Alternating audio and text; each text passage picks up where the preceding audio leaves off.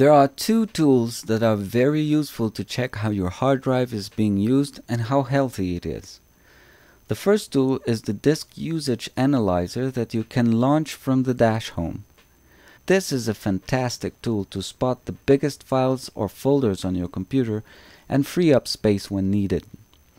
The total file system usage shows you how much space is being used it is recommended to have at least 15% of your hard drive free. To drill down the disk usage by folder, click on Scan Home and eventually click on the Size column to order them by size.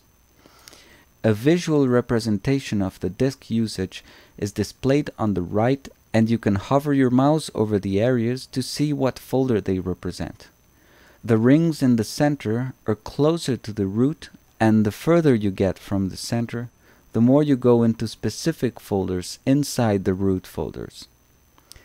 This tool is a great way to spot the biggest folders and free up some space when needed. The second tool is the disk utility. Click on the disk you want to analyze in the left column and the information will appear on the right. Check the smart status to ensure the disk is healthy and eventually run self-tests, benchmark or check file system to see how your disk is performing.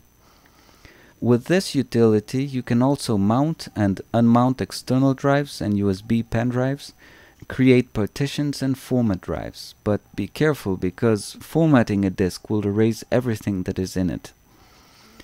Next, we will see how to create a startup disk.